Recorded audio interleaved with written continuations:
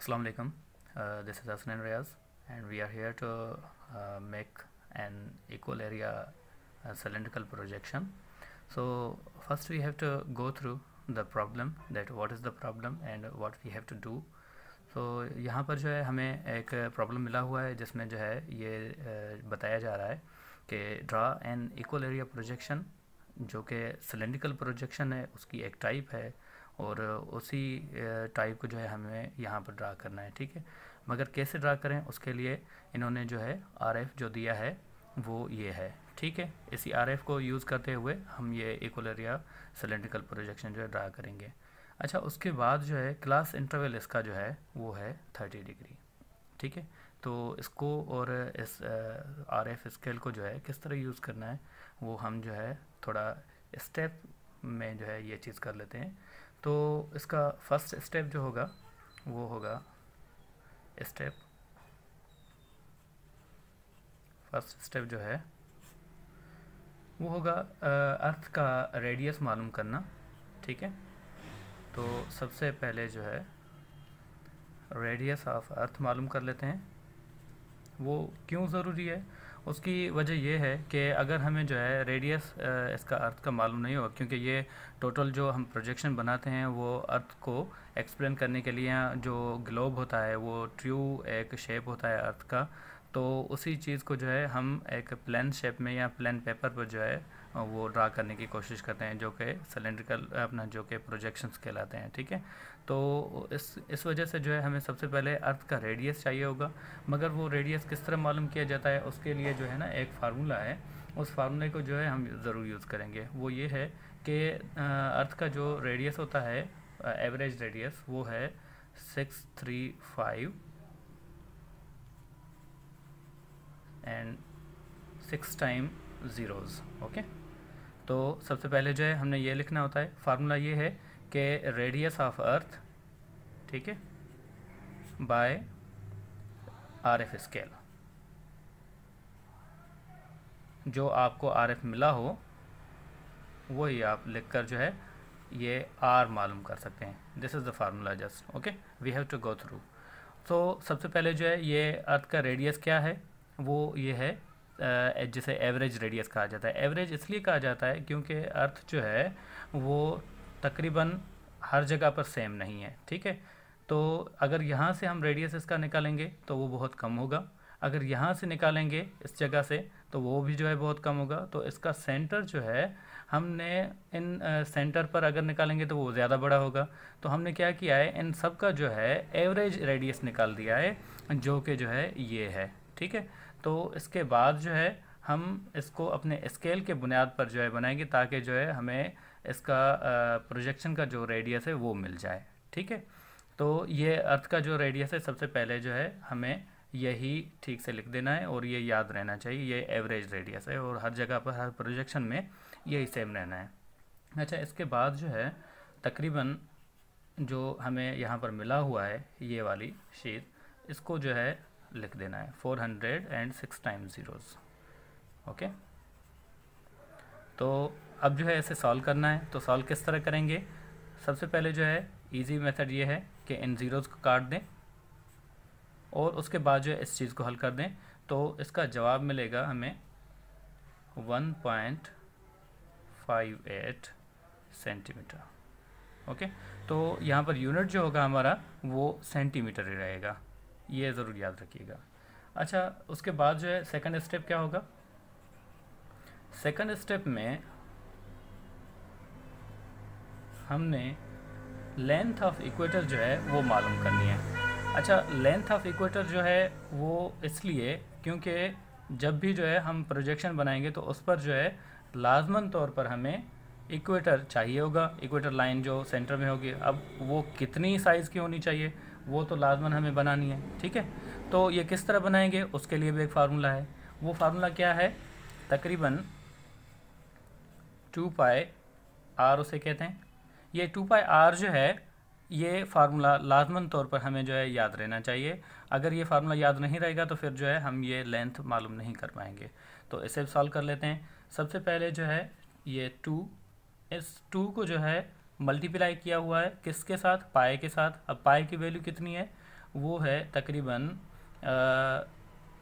twenty two by seven okay और उसके बाद जो है, इसे मल्टीप्लाई किया हुआ है आर के साथ। अब आर हमने निकाल दिया है, ये रही आर तो आर की वैल्यू कितनी है? ये है वन पॉइंट फाइव एट ठीक है? अब यूनिट इनके भी जो है ना, वो सेंटीमीटर रहने आगे चलकर। जब इसे आप सॉल्व करेंगे तो जवाब जो है आपका, या आप इसे इस तरह लिख सकते हैं। अगर आपको कन्फ्यूज़न हो तो आप इसे इस तरह लिख सकते हैं। क्योंकि ये टू जो है, इसके साथ मल्टीप्लाई किए हुए हैं तो आप इसे मल्टीप्लाई कर दें इसके साथ। और उसके बाद जो है, ये भी इसके साथ मल्टीप्लाई में तो इसके साथ ही रख दें। और सेवन से जो है, इसे डिवाइड कर दें। तो आपको जो है, जवाब मिल जाएगा। अब इसका जवाब कितना होगा? नाइन पॉइंट नाइन थ्री ठीक है? तो ये भी सेंटीमीटर में है। तो स्टेप सेकंड जो है, वो हो चुका। अब जो है, चलते हैं स्टेप नंबर थ्री के लिए। थर्ड स्टेप जो है, वो क्या होना है? इसमें हम मालूम करेंगे कि जो लाजमन तौर पर लॉन्गिट्यूड्स बननी है, क्योंकि प्रोजेक्शन में जो है ना, वो लाजमन इस तरह होता है कि इक्वेटर लाइन जो होती है बीच की मैं आपको ड्रा करके दिखाता हूँ यहाँ पर। ये देखें। यहाँ पर ये लाइन जो है, ये तो हमने बना दी, उसकी लेंथ जो है हमारे प्रोजेक्शन में वो इतनी होनी है, इससे ज़्यादा नहीं होनी, ठीक है? मगर जो है, ये, इस पर जो हम ये लॉन्गिट्यूड्स बनाएँगे। ये रही लेटीट्यूड जो इक्वेटर थी, ठीक है? तो लाजमन जो है एक लेंथ होनी डिस्टेंस बराबर नहीं रखेंगे तो फिर मसला हो जाएगा। तो ये डिस्टेंस कितना होना चाहिए? ये जो है हमें लाजमन तो डिस्टेंस जो है वो इस तरह होगा कि आप जो है, ये एक फार्मूला है इसका, वो यूज़ कर लेंगे। वो फार्मूला क्या है? टू पाई आर इसको मल्टीप्लाई किया गया है किसके साथ? सी आई ये सी आई क्या है? सी आई कहते हैं क्लास इंटरवल को। और इसे डिवाइड किया गया है 360 से। 360 क्यों? क्योंकि जो भी सर्किल होता है, उसकी जो डिग्रीज होती हैं, वो 360 होती हैं। इस वजह से जो है, लाजमन तौर पर हमें 360 सिक्सटी यहाँ पर करना पड़ रहा है। और सी आई यानी कि क्लास इंटरवल वो क्लास इंटरवल आपको यहाँ पर मिला हुआ है। ठीक है? तो इसी क्लास इंटरवल को जो है हम यहाँ पर लिखेंगे। तो इस फार्मूले को अब यूज़ कर लेते हैं। टू बाई आर की वैल्यू आपने मालूम कर ली है नाइन पॉइंट नाइन थ्री तो इसे लिख लेते हैं। Nine point nine three multiplied with thirty degree and divided by three sixty degree ठीक है? तो अब इसको जो है सॉल्व कर लेना है। तो इसको जब आप सॉल्व करेंगे तो आपको जवाब मिलेगा तकरीबन ज़ीरो पॉइंट एट टू। ठीक है? ये भी सेंटीमीटर में होगा। तो ये हमारे जो हैं, ठीक है? तो ये तीन स्टेप्स इसके बाद जो फोर्थ स्टेप होना है, वो हमारा होगा प्रैक्टिकल काम, और वो प्रैक्टिकल किस तरह होगा, वो हम जो है यहाँ पर इस प्लान पेपर पर जो है वो बना डालेंगे। ठीक है? अच्छा तो सबसे पहले जो है, हम फोर्थ स्टेप को जो किस तरह स्टार्ट करेंगे, वो ये होगा कि हम एक लाइन खींच लेंगे और फोर्थ स्टेप में लाइन वो जो होगी, बगैर किसी मेज़रमेंट के होगी। तो सबसे पहले आप ये यहाँ से कोई भी ऐसे लाइन खींच लें, ठीक है? उसके बाद जो है, हम ये लाइन जो खींच रहे हैं, इस पर एक सेमी सर्किल बनना है। वो सेमी सर्किल होगा इस साइज़ का। यानी कि उसकी साइज़ कितनी होगी? 1.5 की। ठीक है? तो ये रेडियस ऑफ़ अर्थ जो हमने मालूम किया था, वो इसी के लिए मालूम किया था ताकि जो है, हम यहाँ पर ये चीज़ बना सकें। ठीक है? वो किस तरह बननी है? सबसे पहले जो है, आप ये कंपास इसको यूज़ करेंगे और कंपास को यूज़ करने का तरीका ये है कि आप 1.5 तक जो है इसे खोल दें। ठीक है? ये यहाँ से ज़ीरो से लेकर जो है फाइव होगा। अपना वन होगा तो ये एक मुकम्मल वन हो गया और हमें क्या चाहिए? 1.5 तक चाहिए। तो ये यहाँ पर जो है, इसका निशान वो बता रहा है कि ये फाइव लिंक्स हैं, ठीक है? तो हम क्या करते हैं, यहाँ पर फाइव पर रख कर इसे मुकम्मल तौर पर इस तरह खोल लेते हैं। ओके? तो ये हो गया 1.5 हम क्या करेंगे? इसका कहीं पर भी जो अब जो है ना, हम इस पर कहीं पर भी जो है रख कर ये एक सर्किल निकाल देंगे। ये इस तरह होगा, ठीक है? ये निकालने के बाद जो है, हमें इसी जगह को, जो यहाँ पर जो है, ये नोक रखी थी हमने, यहाँ पर यहीं से आगे काम जो है करना, ये ज़रूर जहन में रखिएगा, ठीक है? तो अब क्या करना है कि हमें जो है, एक लाइन चाहिए होगी, वो भी कोई ऐसी लाइन होगी जिसकी कोई मेज़रमेंट नहीं होगी, मगर वो सीधी होनी चाहिए, ये ज़रूरी है, ठीक है?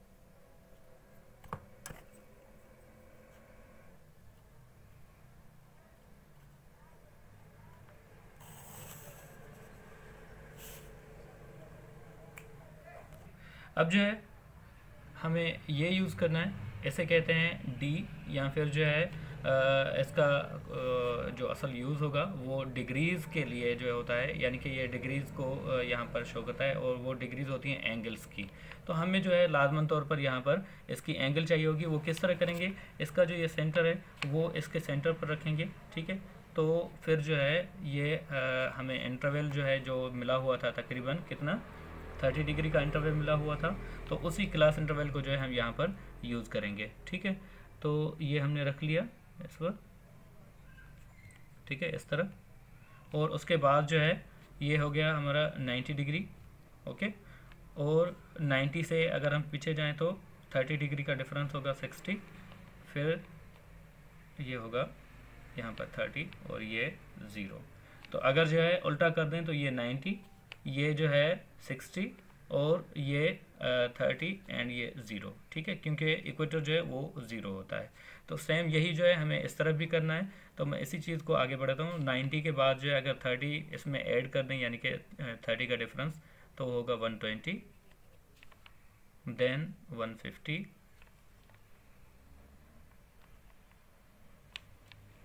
in the last one eighty ठीक है?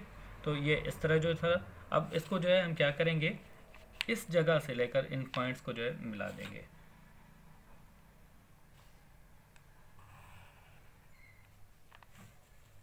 इस तरह।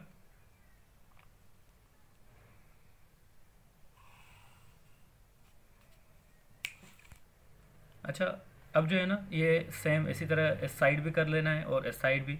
तो मैंने क्या किया है, ये जो हमने डॉट्स लगाए थे, यानी कि निशान जिसकी वजह से जो है हम ये लाइन खींच पाए तो एक तो ये लाइन जो है यहाँ ऐसी सेंटर के मुताबिक जो है सीधी होनी चाहिए और दूसरी बात ये कि ये यहाँ तक जो आएगी, मगर ये आगे वाला, इससे आगे वाला हिस्सा जो है वो हमारे काम का नहीं है, वो इस तरह होना चाहिए, ठीक है? तो हम क्या करेंगे, इसे रब कर देंगे, ठीक है?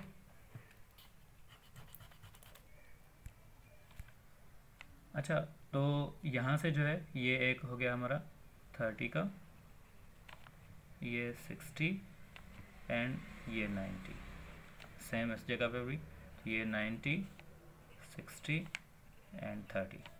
उसके बाद जो है, हमें क्या करना है, इसका जो है ये वाला हिस्सा, इस पर कुछ मार्किंग करनी है, वो इसलिए कि हमें लॉन्गिट्यूड्स बनानी है। मगर लॉन्गिट्यूड्स बनाने के लिए, इस लाइन का जो है, वो हमें एक मेज़रमेंट चाहिए, क्योंकि इक्वेटर की जो लेंथ चाहिए हमें, वो कितनी होनी चाहिए, वो होनी चाहिए यहाँ पर पीछे हमने जो कैलकुलेशन की थी 9.9 की, ठीक है? तो वैसे तो ये 9.93 था, मगर 3 जो है, इसे राउंड ऑफ़ कर देंगे तो क्या होगा? ये सिर्फ़ 9.9 होगा। तो हमें 9.9 की जो है, इसकी लेंथ चाहिए। तो हम क्या करते हैं, इस स्केल के मुताबिक जो है, इसको रख लेते हैं, और वो कहाँ से चाहिए होगी? यहाँ से चाहिए होगी। तो आप पहले जो है, आप इसको एक निशान लगा दें यहाँ पर।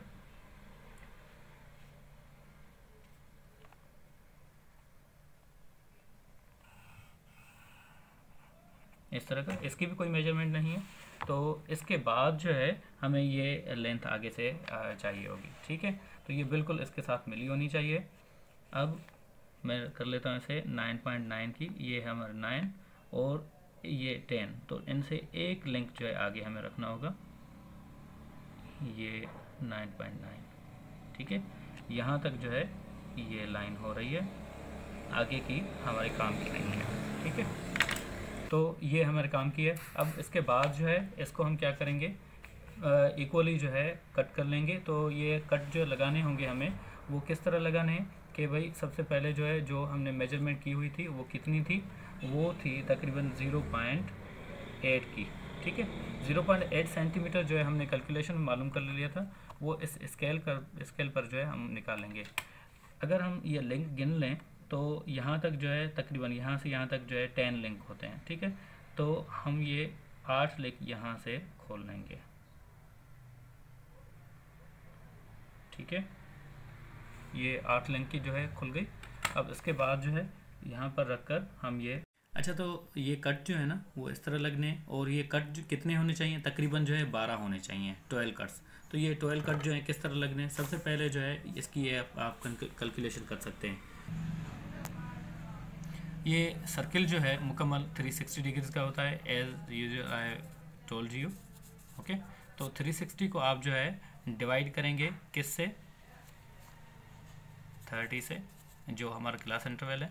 तो इसको इसको आप जो है जब डिवाइड करेंगे तो तकरीबन जवाब इसका जो होगा, वो ट्वेल्व होगा, ठीक है? तो ये इस तरह भी जो है मालूम किया जा सकता है। अब जो है हमने कट लगाने और वो बारह कट जो है, वो यहाँ से स्टार्ट ट्वेल्व कट्स यहाँ से जो है, एक दो, तीन। तो अब जो है ना, मैंने ये सारे कट लगा दिए हैं। वीडियो को जो है थोड़ा शॉर्ट रखना था ताकि जो है आप लोग आपको ये डाउनलोड करने में या सहूलत हो। तो इस वजह से जो है मैंने ये सारे कट लगा दिए हैं इसमें। ये बारह कट हैं, ठीक है?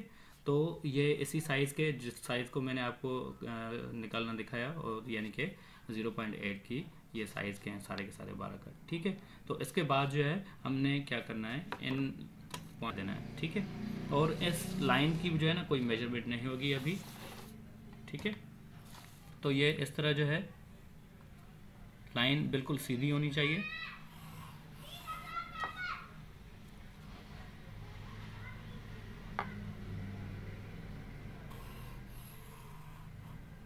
ठीक है? तो अब मैं क्या करूँगा? ये एक दो मैंने आप लोगों को दिखा दिए हैं, बाकी जो है, ऐसे ही बना दें ताकि वीडियो थोड़ी जो है शॉर्ट रहनी चाहिए, ठीक है? ओके तो ये मैंने जो है, सारी लाइंस लगा दी हैं इन कट्स के ऊपर। इस तरह जो है, ये सारी चीज़ होनी है। अब इसके बाद जो है, हमें क्या करना होगा? ये जो है, ये लाइन जो हमने लगाई थी, यहाँ पर, ये ऐसे सीधी लेटीट्यूड्स की तरह जो है, हमने लगानी है। अगर आप इस तरह जो है, ये सीधी लगा सकें, ये इस तरह, सीधी आप रख सकें, तब भी ठीक है। वरना जो है आप इस डी का इस्तेमाल कर सकते हैं इस चीज़ को बनाने के लिए। वो किस तरह होगा कि इसका सेंटर जो है इस यहाँ पर जो है रखें। इस डी का सेंटर जो है वो इस जगह पर आप रखेंगे। यहाँ पर। और वो बिल्कुल सीधा होना चाहिए। ठीक है?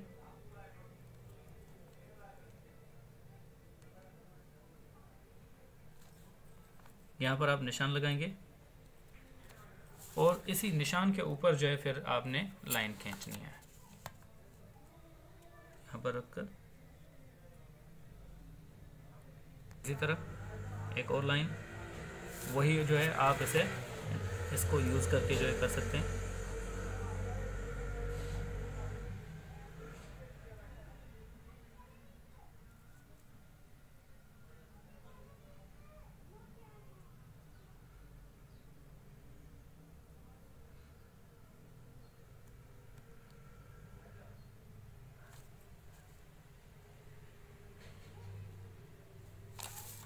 ठीक है?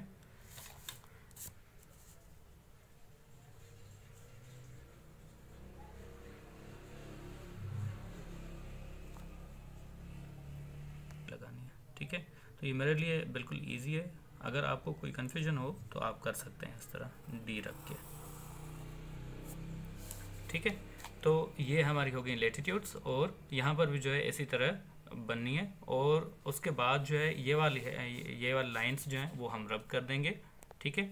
ये लाइंस रब करनी है और उसके बाद जो है, ये लाइन भी जो है रब करनी है क्योंकि ये फालतू लाइंस हैं, इनको कोई, इनका कोई यूज़ नहीं है और उसके बाद जो है, यहाँ पर भी ये भी ऐसे लाइनिंग करके उसके बाद जो है, नीचे वाला हिस्सा जो है, वो रब कर देना है, ठीक है?